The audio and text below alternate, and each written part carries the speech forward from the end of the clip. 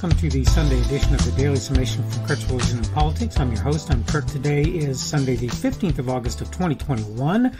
Welcome to everybody who's here on Rumble on the podcast on YouTube. Remember, Rumble is my preferred platform where I would prefer to have you watch me. Obviously, you can watch me from wherever you can get me, and I'm not going to complain wherever you happen to do that.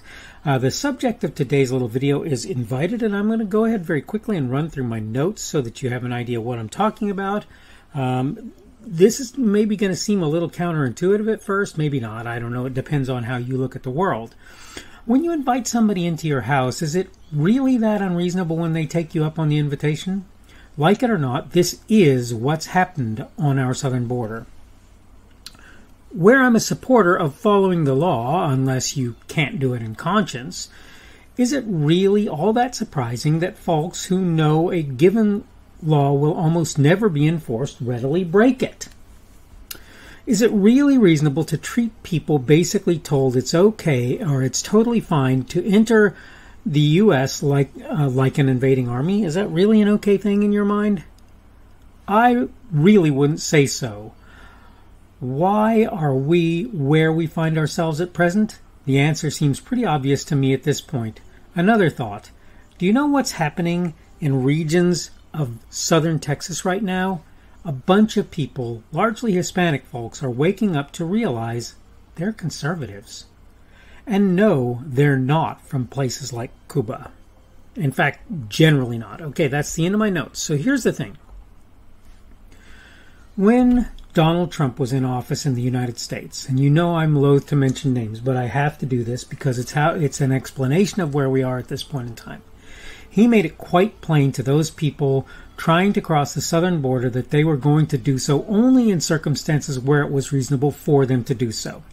He basically told people if you're not really truly seeking asylum in the United States or going through the standard immigration process, you're not good to come into the United States, plain and simple.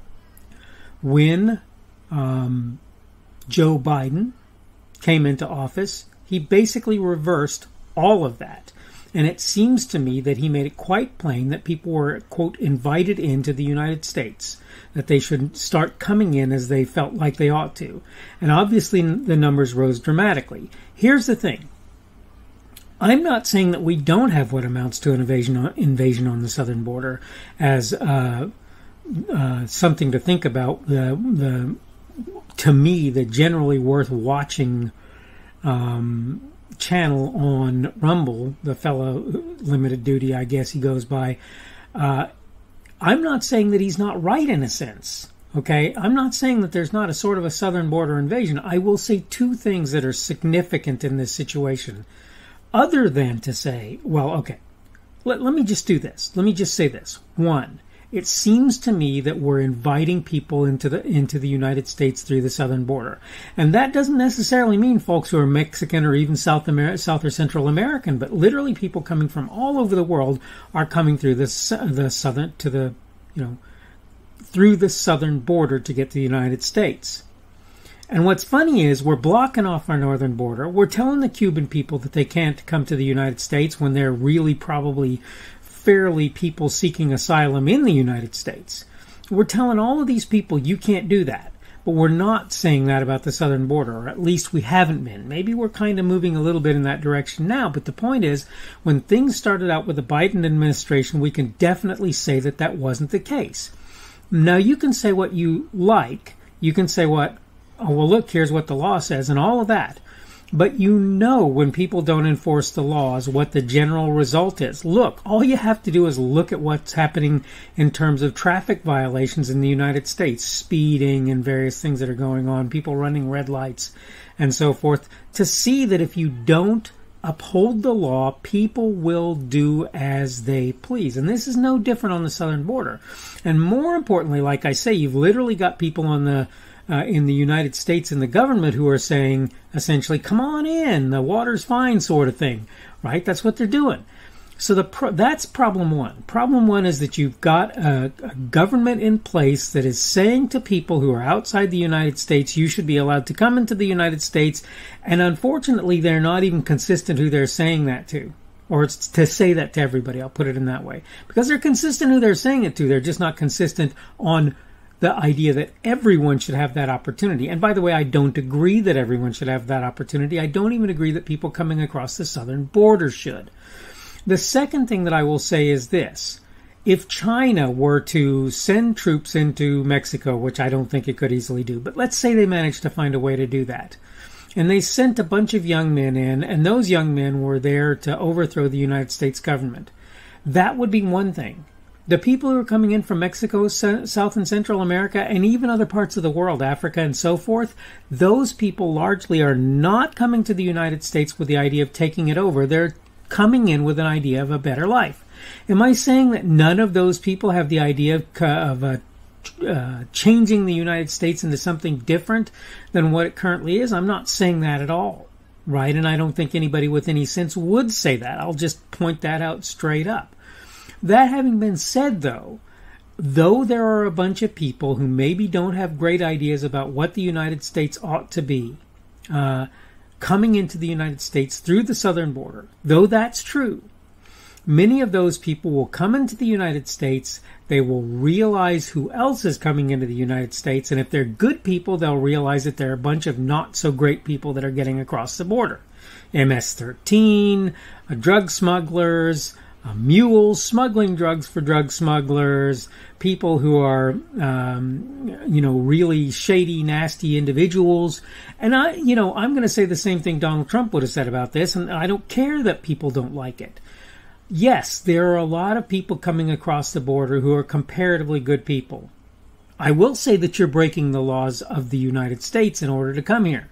So it's almost impossible to say they're the caliber of people that you want unless they're doing proper immigra- immigration processes. But that having been said, there's still a lot of them that really are just at their wits' end on how to make life work, and they've found out that they can get across into the United States and that they probably can get lost in the population and at least have a period of respite with regard to their time so that they can make their life a little better and maybe send some money home to their family who's still living wherever Mexico, South America, Central America, somewhere, or even somewhere in Africa or whatever, like I say, in Asia, whatever, right? Uh, Europe, even possibly, though I think that that's less of a possibility or a likelihood. My point is to say this, though.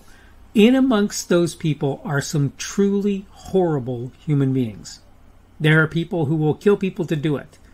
There are men who will rape ladies because they can, or, you know, whatever, whatever it happens to be. There are people who will take things from people that don't belong to them and have no reason to, to assume that that's okay, but will do it anyway. There are people who are carrying various viruses, diseases, and so forth, and I will say I think that that probably includes COVID. I don't know what the numbers look like. It doesn't really matter. These people are not being checked in any way because they're coming into the United States in ways such that they basically get lost in the population. If if people out there are to be believed, some of these people are literally being flown into other parts of the country and dumped. And this is inappropriate. This is not correct. It's simple. As long as we invite people in, and that uh, I'll explain what the, what we need to do about that in a sec. As long as we invite people in, we're gonna have problems. That's just all there is to it. Now, what do we do about that? Well, the answer is simple. We need to get people out of power who are willing to just invite folks in without doing any kind of work to make sure that they're people who really ought to be there. We have an immigration system on purpose, just like almost every country in the world. We're not saying to people you can't come to the United States. We're not saying you can't seek asylum if you have good cause. We're not saying you can't come for a better life if you want to do that. We're not saying any of that. All we're saying is this is the process. Now, to be fair, the process is not good. You could argue that it's broken and it does need fixed. But right now, we've got people in office in in the highest level places in the country, down to often to the lowest, who are willing to just let people cross the border without any real um, per, proper uh, vetting at all occurring as they're doing so.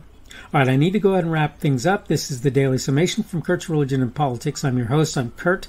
Uh, today is Sunday, the 15th of August of 2021. Tomorrow will be Monday, the 16th of August of 2021. The, today's subject has been invited. By the way, well, uh, thank you for everybody who's here on Rumble the podcast YouTube. Remember, Rumble is my preferred platform. Uh, you can give me a positive or a bo- the boxing glove on Rumble. You can give me a negative Rumble if you want to do that. You can give me a thumbs up or a like or a thumbs down or dislike on YouTube. Remember also that you can comment on either of those two platforms.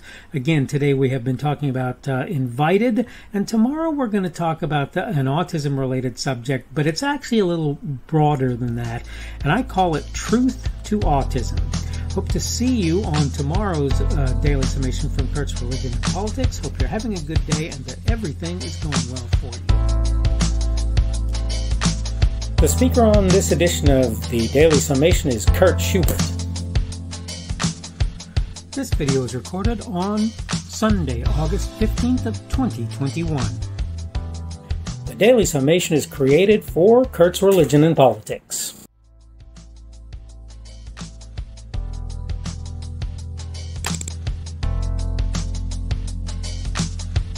Thanks for watching this edition of the Daily Summation from Kurt's Religion and Politics. I hope you found it entertaining or instructional, or maybe both. Uh, if you want to see more from me, you can go to blogs.kpshubert.com. That's blogs.kpshubert.com.